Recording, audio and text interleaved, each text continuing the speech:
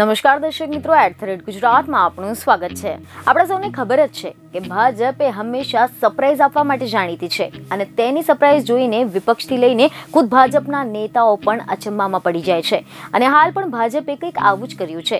સરકારમાંથી એક ઝાટકે તગેડી મૂક્યા બાદ ભાજપ ફરીથી તે નેતાઓને પણ શેરપાઓ આપીને કાર્યકરોને અચંબામાં મૂકી રહ્યો છે. ખબરો એવી સામે આવી રહી છે કે ભૂપેન્દ્ર પટેલની પહેલી સરકારમાં કેબિનેટ કક્ષાના મહેસૂલ મંત્રી રાજેન્દ્ર ત્રિવેદી અને માર્ગ મકાન મંત્રી પૂર્ણેશ મોદી પાસેથી રાજીનામા લઈ લેવામાં આવ્યા હતા. પરંતુ હવે લોકસભાની ચૂંટણી માથે આવીને ઊભી છે ત્યારે ભાજપે પૂર્ણેશ મોદી અને સંઘ પ્રદેશમાં ભાજપના પ્રભારી બનાવ્યા છે.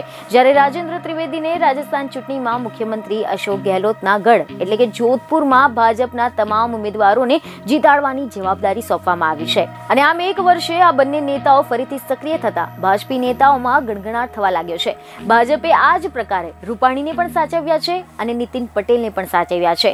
હાલમાં રાજસ્થાનની ચૂંટણીની મોટી જવાબદારી નીતિન પટેલની સોંપવામાં આવી છે. રાજસ્થાનમાં ભાજપ જીતે તેવો હાલ સર્વેને પગલે આ નેતાનું કદ લોકસભા પહેલા વધશે તેવું લાગી રહ્યું છે.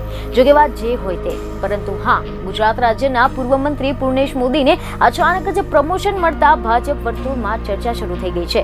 પૂર્ણેશ મોદીને રાહુલ ગાંધી પડી ગયા છે. તમે જણાવી દઈએ કે મીડિયા રિપોર્ટ અનુસાર એવી જાણકારી મળી રહી છે કે મોદી સરનેમ કેસમાં સુરત કોર્ટે રાહુલ ગાંધીને સજા ફટકારી હતી, જો કે એના બાદમાં જામીન પણ મળી ગયા હતા. સમગ્ર મામલો એમ હતો કે પૂર્ણેશ મોદીએ રાહુલ ગાંધી વિરુદ્ધ ફરિયાદ નોંધાવી હતી. વર્ષ બે હજાર ઓગણીસમાં કર્ણાટક ચૂંટણીમાં રાહુલ ગાંધીએ ભાષણ દરમિયાન એવું જણાવ્યું હતું કે બધા ચોરોની અટક મોદી કેમ છે? અને આ નિવેદનને લઈને પૂર્ણેશ મોદીએ ફરિયાદ નોંધાવી હતી, જેમાં રાહુલ ગાંધીને સુરત કોર્ટ દ્વારા સજા ફટકારવામાં આવી હતી, જેની નોંધ હાઈકમાન્ડ દ્વારા લેવામાં આવી હતી. અને તેનો શિરોભાવ રૂપે દીવ દમણ દાદરાનગર હવેલીના પ્રભારી બનાવાયા છે. અને આમ પણ પૂર્ણેશ મોદીની વાત કરીએ તો તેઓ મંત્રી બન્યા. તે સમયથી પણ એકાએક છેલ્લી ઘડીએ તેમને દિલ્હીની ટિકિટ ફાળવી દેવામાં આવી હતી. જો વિજેતા બનતા એમને માર્ગ અને મકાન વિભાગના મંત્રી પણ બનાવવામાં આવ્યા હતા.